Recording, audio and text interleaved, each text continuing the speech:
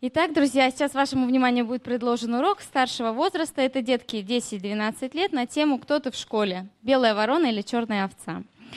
Итак, для начала, что мы с вами будем говорить о наших отношениях в школе, в классе, с учителями. Любят нас, не любят, как к нам относятся, и немножко проанализируем за этот урок, почему так к нам относятся люди. Для начала я раздала подросткам листочки, сейчас вам их покажут, покажут на экране.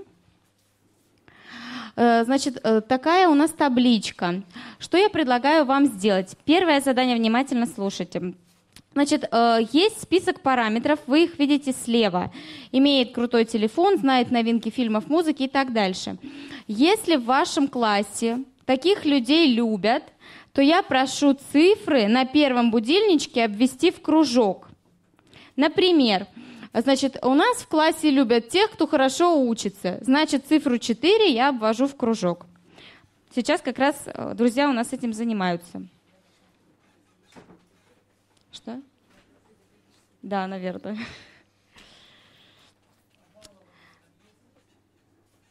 Что там? Балованные?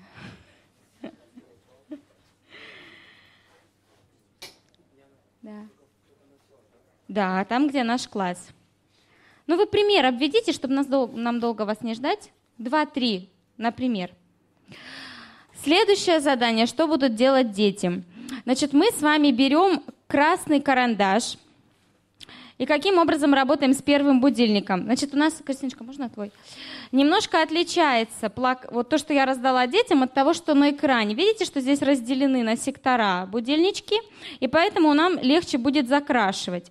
Значит, мы закрашиваем красным карандашом те обведенные цифры, э, которые не подобают для христианина. То есть христианин не может так себя вести, либо так, ну, это иметь, либо, ну, таким быть. Например, вот у меня был обведен например, цифра 9 была обведена, да? Инициатор злых дел. То есть у нас в классе любят тех, кто любит напакостить. Но я считаю, что христианин так делать не должен ни в коем случае. Это значит, что циферку 9 или сектор 9 я должна закрасить красным цветом. Это то, что у нас сейчас делают ребята. Кристиночка, можно опять же твой? Вот смотрите, пример, да? Как должно у них получиться. Теперь мы с вами берем зеленый карандашик – и раскрашиваем зеленым те обведенные цифры, как христианин может себя вести, должен, что у него может быть. То есть это для него ну, неплохо, если он так себя ведет или делает. Сейчас посмотрим, что у них получилось. Кристина, дай пример. Ну, красиво. Красиво. Вот смотрите, значит, у детей должно получиться примерно что-то так. То есть какие-то циферки у них вообще не закрашены, какие-то закрашены красным, какие-то закрашены зеленым. Теперь мы переходим к следующему будильничку. Что, ребята, у нас там написано? Написано «Я». Вы э, должны обвести в кружочек те цифры, которые подходят лично вам. То есть, например, если я э, хорошо учусь, то я должна какую циферку закрасить? Обвести. 4. Хорошо. Если я могу постоять за себя, какую циферку я должна обвести? 11. То есть вы ничего не раскрашиваете красным зеленым, но просто обводите циферки второго будильничка. Так. Куда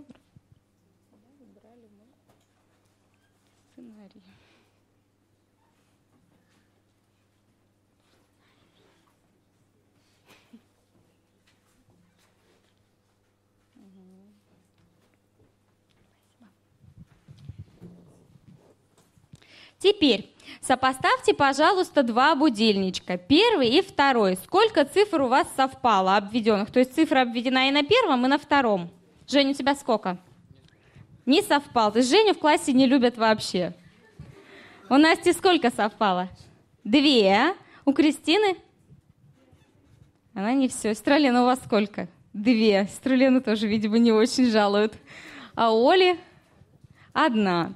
А какого э, цвета та цифра, которая у вас совпала? Стрелина? Зеленого. Оли? Тоже зеленого? А, уже не совпало. У Коли?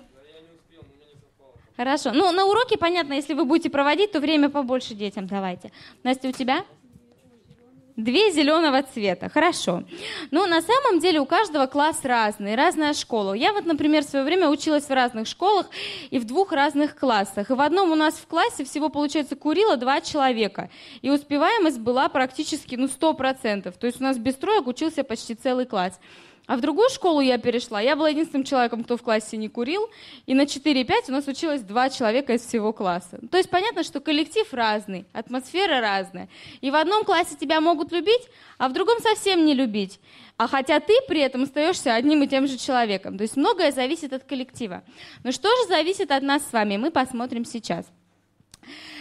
Вначале хочется рассказать вам одно свидетельство одного пастора, который сейчас уже у Господа. Он рассказывает о том, как он был в школе. Значит, э, получилось так, что они переехали из одного места в другое, и прежде чем он успел распаковать свои чемоданы в другом городе, ему сказали, что в этой школе, где он будет ходить, э, есть один мальчик, которого зовут Чак. И у него была такая характеристика, что он очень не любил детей священников, и, ну, служителей.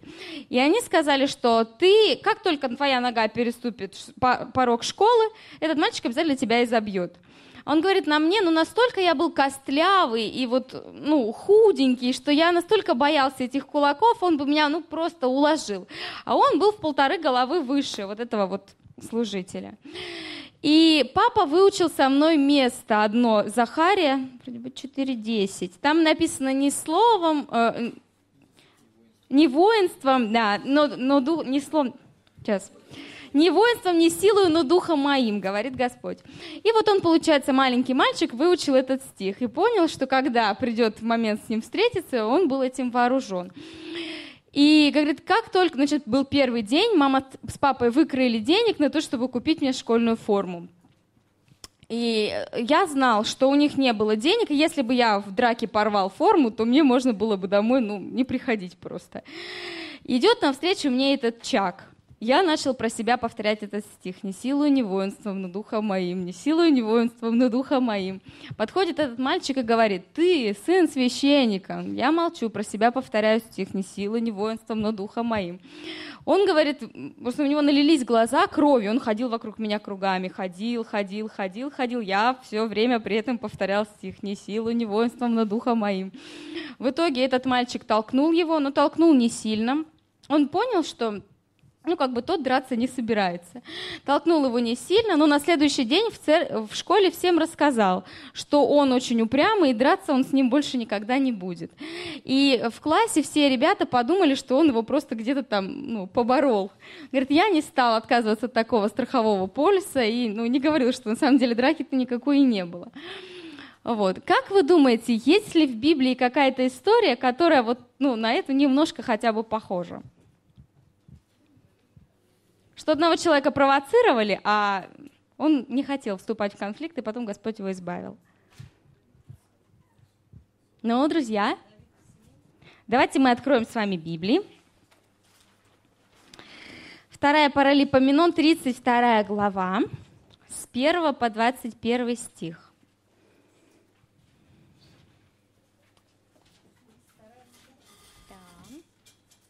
Жень, ты бы как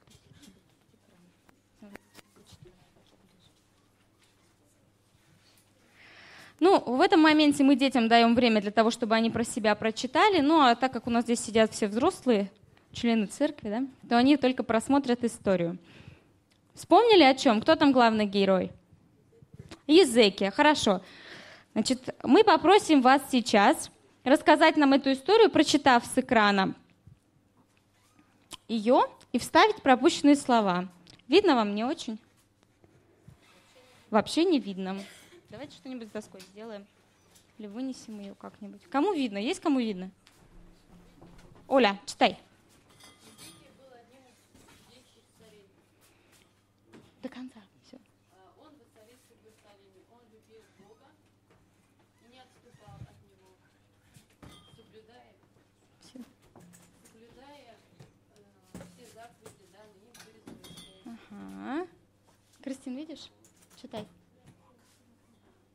Настя, читай. Не видит.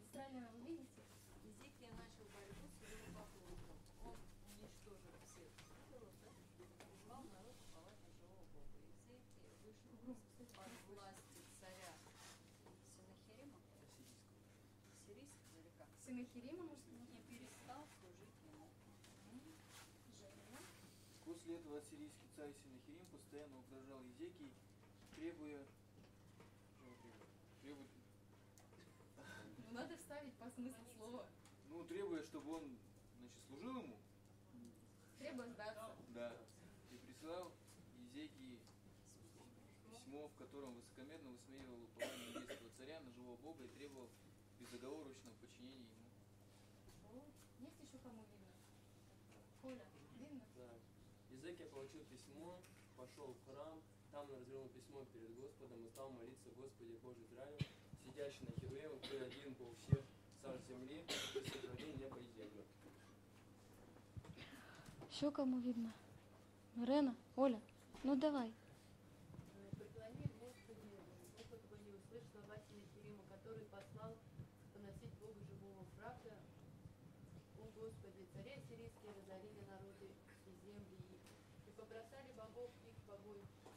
Но, но это не боги, а изделия рук человеческих, дерево, э, дерево и камень, потому истребили их. Мгм. Ну давайте, брат Роман, вам точно видно. Ну, читайте. Так, а тут... Господь услышал молитву да, верующего в Него царя и наказал Синахирима поражением за их дерзость против всякого а, святого имени. Ну да, можно и ассирийцев было сказать. Хорошо, друзья, мы вспомнили с вами историю про Езекию. Скажите мне, пожалуйста, за что Езекия подвергся нападкам, оскорблениям Синахирима и его военачальника Рапсака? Как вы поняли? Оль, ты как поняла?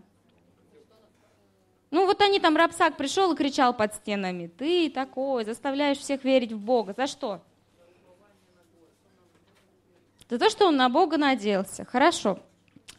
А теперь я вам расскажу немного другую историю, и вы мне скажете, за что там человек пострадал. Значит, представьте себе такую ситуацию. Ваш класс ведет уже несколько лет очень хорошая учительница по математике. Она приносит каждый раз много дополнительного материала, очень интересно проводит уроки, всегда проверяет домашние задания вовремя. И ни у кого в классе нету тройки по математике, потому что все очень сильно любят этот предмет, хорошо занимаются, и ну, всем очень нравится ходить к ней на уроки. Но тут получилось так, что эта учительница заболела, и пришла молоденькая, вчерашняя выпускни- выпускница вуза. А у нее была такая политика, что нужно все учить наизусть. И вот в учебнике написаны примеры, где объясняется да, материал. Она просит вас учить наизусть, просит учить правила. Никто в классе не привык к этому. И так как она начала очень сильно спрашивать, контрольный каждый урок проводить, проверочные, люди стали получать тройки, тройки, двойки, никто не привык зубрить, все учились просто так вот, на ура, как чувствовали, как понимали. Как вы думаете, э, продолжение истории этой какой, скорее всего, будет? Ну, со стороны детей. Директору напишет отказ от учителя или общее послание. Еще какое? Успеваемость упадет. Как вы думаете, дети с охотой будут ходить к этому учителю на уроки? Не будут ходить. Может ли такое быть, что ей придумают какие-то клички? Может быть, да? Может ли быть такое, что ей будут делать какие-то пакости в классе? Тоже может быть. Хорошо.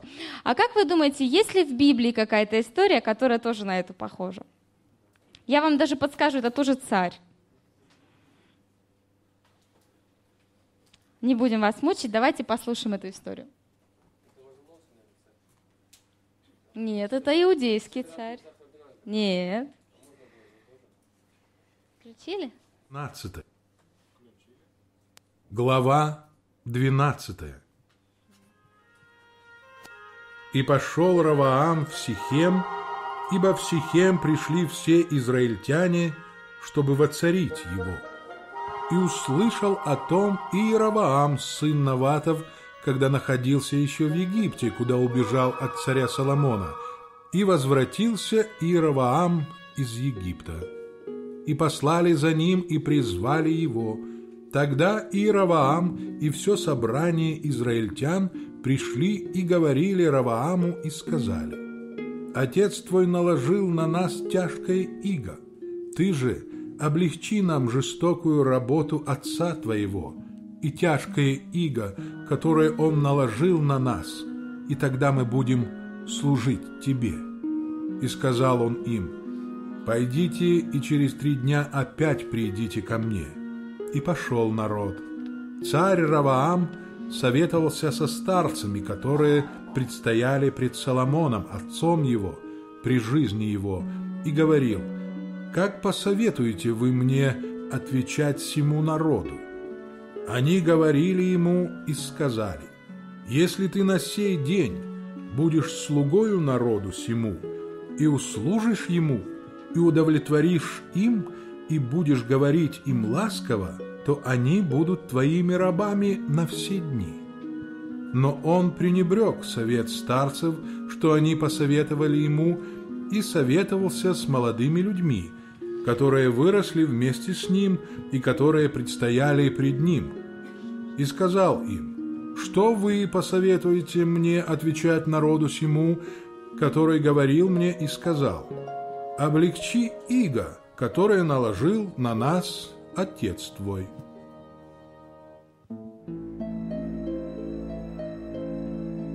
И говорили ему молодые люди, которые выросли вместе с ним, и сказали, «Так скажи народу сему, который говорил тебе и сказал, Отец твой наложил на нас тяжкое иго, ты же облегчи нас. Так скажи им, мой мизинец толще чресл отца моего». Итак, если отец мой обременял вас тяжким игом, то я увеличу иго ваше, Отец мой наказывал вас бичами, а я буду наказывать вас скорпионами. И Раваам и весь народ пришли к Равааму на третий день, как приказал царь, сказав, «Придите ко мне на третий день». И отвечал царь народу сурово и пренебрег совет старцев, что они советовали ему. И говорил он по совету молодых людей и сказал – Отец мой наложил на вас тяжкое иго, а я увеличу иго ваше. Отец мой наказывал вас бичами, а я буду наказывать вас скорпионами. И не послушал царь народа, ибо так суждено было Господом, чтобы исполнилось слово его, которое изрек Господь через Ахию, силамлянина, и Яровааму, сыну Наватов. И увидели все израильтяне, что царь не послушал их, и отвечал народ царю и сказал, «Какая нам часть в Давиде? Нет нам доли в сыне Иисеевом, по шатрам своим Израиль, теперь знай свой дом, Давид». Вспомнили, да, эту историю? Скажите, пожалуйста, вот Раваама за что народ не взлюбил? Жень.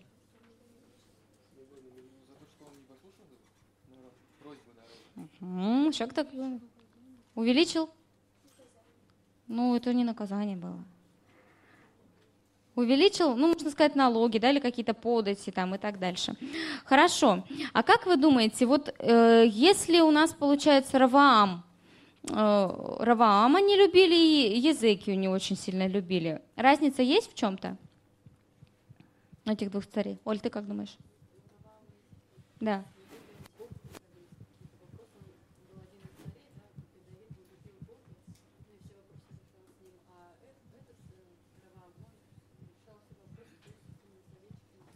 Угу.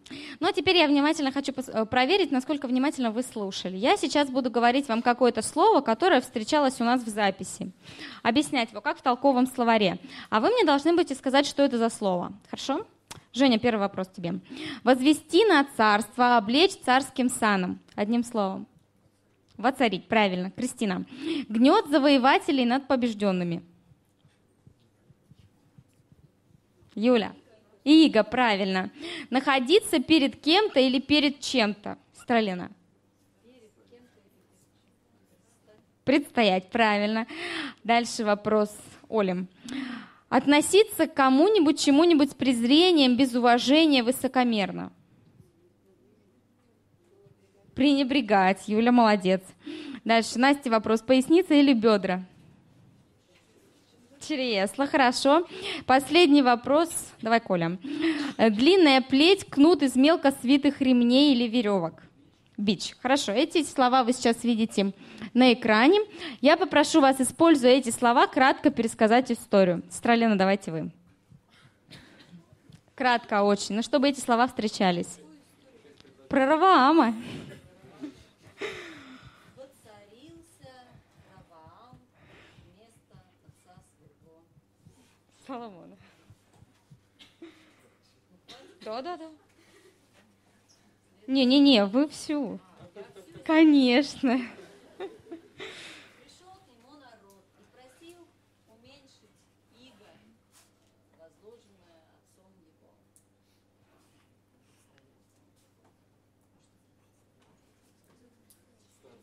А, да, он им сказал, «Э, через три дня предстанете предо мной, я дам вам ответ». Он пренебрег советом старцев, э, с- кото- советчика, которые были советчиками его отцу, и, значит, послушал совета молодых и сказал народу, когда народ предстал перед ним, он сказал, что чрез, э, мой мизинец чресла отца моего, и отец наказывал вас печами, а я буду скорпион. Хорошо, сестра Лена очень хорошо получилось. Слава Богу. А, Ну, мы с вами уже разобрали, да, за что страдал первый царь, за что стал, страдал второй царь. Соответственно, первый царь страдал за то, что он был верующим, можно так сказать, да, за то, что он любил Господа, за то, что он не хотел э, прогибаться под влиянием ассирийского э, царя. А второй царь страдал за свое поведение и, можно сказать, за свой язык длинный, да. Здесь у нас нарисован какой-то интересный зверек, точнее птица. Кто это? Белая ворона. Кто знает, почему белые вороны рождаются в природе? Да. Значит, э, белая ворона э, встречается очень редко, так как ее цвет обусловлен редкой мутацией альбинизмом. Они более уязвимы для хищников. Понятно почему, да? И есть такое крылатое выражение «белая ворона». Что оно значит? Не такой, как все, но обычно его говорят с, как- с какой окраской? Не такой хороший или не такой плохой? Не такой хороший. А, в смысле, не такой, как все, он хороший. По-разному можно понимать. Если человек, например, э, Там было два, один не курящий, ой, вернее, один курящий, и он был белой вороной, в плохом понимании. Для черных ворон он в плохом понимании. Ну, понятно, да. Ну, вообще, если, если вникать в язык, да, и в этимологию этого понятия белая ворона, то обычно говорят, что э, ну, она ассоциируется с, какие-то, с неким чувством избранности, беззащитности и уязвимости. То есть это человек, который, ну, умственно или морально выше, чем все остальные, и поэтому его вот и бедного тюкают, можно так сказать, да. В то же самое время есть еще один термин, который называется по-английски black sheep, то есть черная овца. Э, В русском языке у нас немножко другое выражение, обычно говорят паршивая овца. Э, Что касается черных овец, то есть эм, черные овцы очень редко рождались раньше, но рождаются они, как обычно, от белых родителей, у которых есть рецессивный ген черноты где-то там. В прошлом кто-то у них был черный, и вот это выплыло, и черная овечка родилась. Э, Эту шерсть, получаемую от черных овец, практически невозможно было в старину перекрасить никак. И поэтому они не ценили с точки зрения вот именно торговой. То есть такую шерсть никто не хотел покупать, никто не мог ее продать. И так как люди не понимали, почему у белых овец рождается черный ребенок, то часто связывали это еще и с работой дьявола. Вот, ну на самом деле, как бы тут все генетикой объясняется. Э, Но появление черных овец всегда в стаде было нежелательным, крайне нежелательным, поэтому вот именно э, термин черная овца, или как вот у нас говорят паршивая овца, оно связано как раз именно, что все хорошие, а он вот плохой, да, так скажем. И если мы сейчас с вами перенесем э, вот эти два термина на школу, на школьную жизнь, то в школе у нас тоже могут быть, могут быть белые вороны, а могут быть черные овцы.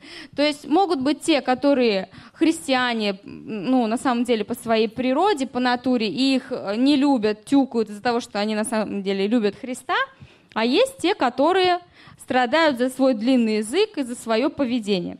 Давайте посмотрим, как у нас это в школе происходит. Значит, у нас вот тут есть табличка. Сделаем так, чтобы всем было видно. Так, вам видно? Тем, кто там сидит, Жень? Не видно. Может быть, вот так? Так видно?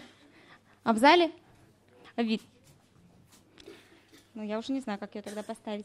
Значит, у нас тут есть сверху, значит, белая ворона и черная овечка.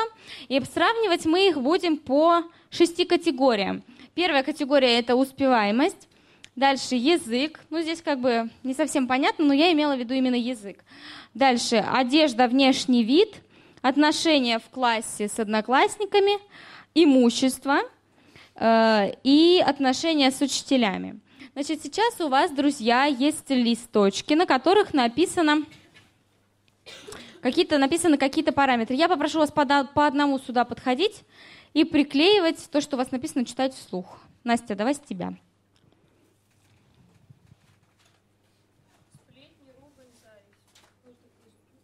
Это язык кого? Белая ворона или черные овцы? Черные овцы. Видно, что написано? Сплетни, ругань, зависть. Хорошо. Кристин. Не знает ответ на простые вопросы. Угу. Давай, сюда. Ну, здесь, пока Кристина идет, расскажу вам пример, который мне в свое время рассказала моя учительница воскресной школы. Вот то, что касаемо этого э, пункта. Значит, она училась в институте, и э, в ее группе была девушка, которая была чья-то дочь. То есть ее в эту группу отправили, потому что она, ну, была чья-то, так скажем. Она училась очень плохо, и как бы ей ставили три просто за то, чтобы ну, она числилась в группе. И вот наступил момент экзамена, нужно было что-то решать значит, у доски. Она ничего не смогла сделать, я даже не знаю, какой это был предмет, но суть в том, что э, проходило это все в аудитории, где стоял большой трактор. И, эм, значит, ну, этот трактор не имел никакого отношения к тому предмету, который шел, ну, как бы он стоял. И учитель, желая посмеяться над этой девушкой, э, ну, так как она ничего не знала, говорит, ну, ты хотя бы подойди вот к трактору и покажи, где у него переднее колесо. Ну, просто смеха ради. Она, значит, долго, ну, весь класс засмеялся, вся группа, понятно почему. Она не могла понять, почему все смеются. Она подумала, что, наверное, здесь подвох какой-то, и хотят ее ну, разыграть. А она мялась, мялась, подходит к заднему колесу и показывает, говорит, вот. Ну, соответственно, все засмеялись еще громче, потому что ее просили показать переднее колесо, она даже этого не знала. Ну, соответственно, над девушкой, вот этой, к ней приклеилась кличка, и которая ходила всю ее студенческую жизнь вместе с ней. И вся, все ее всячески поддевали с этим трактором и с этим колесом. Ну и понятно почему, да? Не из-за того, что она была какая-то особенная, а просто потому что не старалась. Хорошо, Даша.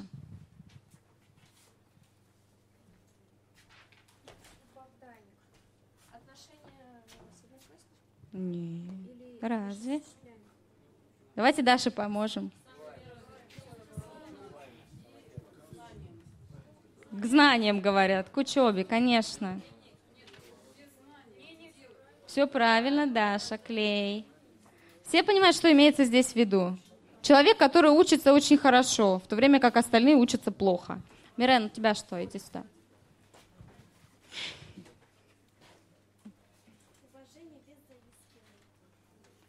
Куда? Да, сюда клей. Уважение без заискивания. Так, хорошо. Кто там? Настя? Сестра Лена? Кто следующий?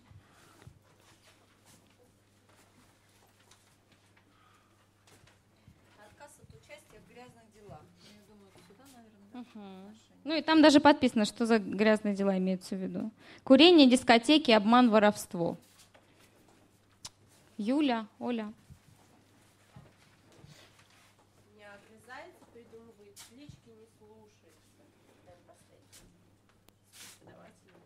У меня гордость, высокая самооценка. У них, наверное, отношения с ближними, да? Да, с одноклассниками. Так, Жень. Выставление своих владений, хвастливость. Мгм. Коля. Нечищенные зубы, немытые руки, грязная и рваная одежда. Ну, это сюда. Мгм. У кого еще остались? Настя? Да. А нет. Ну да, пусть будет здесь. Ага. Скромный, аккуратный. У кого-то последнее. Портит из зависти. Что могут портить из зависти? Там. Ну и на последнее тоже приведу пример из собственной жизни. Вот тот класс, о котором я вначале рассказывала, где все, я все была единственным человеком, который не курил. Э, Значит, я пришла когда в этот класс, и так получилось, что мы переехали из города в сельскую местность. Ну и, соответственно, были какие-то вещи, которые по городским меркам, ну, были совсем даже ну, непрезентабельные, но по деревенским меркам я была там чуть ли не ну, самая первая красавица, так скажем. Ну и, соответственно, далеко не всем это понравилось. И однажды, когда я в начале сентября это было, ну, опять же, у нас в семье не было сильно хорошо с деньгами, а, в начале сентября однажды я вошла в класс и увидела, что моя сумка была вся измазанной звездкой. То есть они, не знаю, откуда они достали звездку, видимо, с потолка, но сумка была вся перемазана этой звездкой внутри, снаружи и везде, таким образом, что ее практически нельзя было отмыть. То есть из каких соображений люди сделали это, ну, никто не знает. Но, тем не менее, вещь пришлось выбросить. Э, Смотрите, друзья, значит, у нас есть здесь характеристики, а почему мы в классе можем страдать, да, или почему нас в классе могут не любить. Если вы посмотрите на себя и на некоторые пункты из своего поведения, почему вас не любят, то легко по этой таблице вы можете определить. Вы страдаете за свой язык, вы страдаете за свое поведение нескромное, либо вы страдаете за то, что вы верующий человек. Как вы думаете, э, что делать, если мы все же страдаем за свое поведение? Как с этим бороться или что делать? Стралина. Ну, я вот нашла, например, по этой таблице, да, э, что, ну, к примеру, я, меня вся считают очень гордой, и никто со мной не хочет общаться. И я считаю, что они все вообще недостойны меня. Что теперь мне делать? Как исправить ситуацию?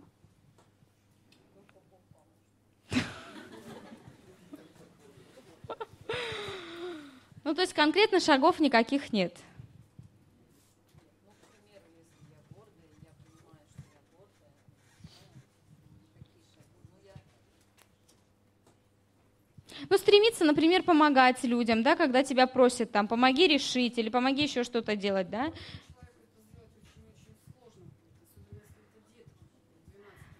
Понятно, что это сложно, же как-то справляться. был бы, честно сказать, белой вороной, он уже понимал бы, что он гордый, ему надо, что все эти обстоятельства складываются к тому, чтобы ему для, для него. Вот тогда это другое дело. Но чаще всего черная овца это как бы не из разряда, наверное, вот где-то верующих. Ну, покаяться. А, К чему, друзья, я хочу направить ваш взгляд? О том, что я не думаю, что есть такие люди, особенно среди детей, да, которых в школе все сто процентов любят. Скорее всего, бывает, что над кем-то подшучивают, что-то портят или еще что-то делают. Чтобы каждый мог честно вникнуть в себя. Почему вас не любят, да? Либо потому, что вы всем демонстрируете свой телефон и стараетесь показать, какой он не такой, как у всех, да? Либо потому, что они говорят, ну-ка там, э, давай посмеемся, или я тебе анекдот расскажу, а ты в это время уходишь просто из класса. Это две разные вещи. И ну, чтобы каждый на самом деле честно вник в себя. Что можно сделать с детьми на уроке? Мы сейчас этого делать не будем. Такую таблицу можно сделать с детьми, вот эти маленькие карточки раздать каждому, чтобы была, например, у каждого таблица А4, и могли карточки эти вклеить. А потом попросите детей, чтобы здесь они то же самое сделали, то, что мы делали в заинтересовке, чтобы они заштриховали, например, или как-то выделили то, что касается их. То есть, например, я могу быть ботаником, да, то есть учиться на 4 и 5, но в то же самое время, когда мне рассказывают сплетни, я бывает, что в этом участвую, да, ну и так дальше. То есть посмотреть по каждой категории, над чем надо работать и что ты можешь еще исправить. Хорошо, давайте мы посмотрим с вами на золотой стих. Где, переключатель?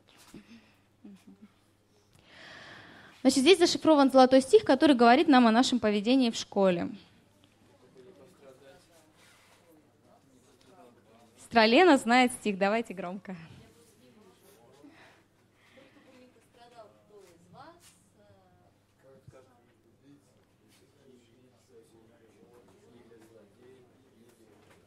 Что-то. да, Да. то не стыдись, но прославляй Бога за такую участь. Хорошо. Ну, давайте еще раз весь стих кто-нибудь повторит. Брат Олег, давайте вы.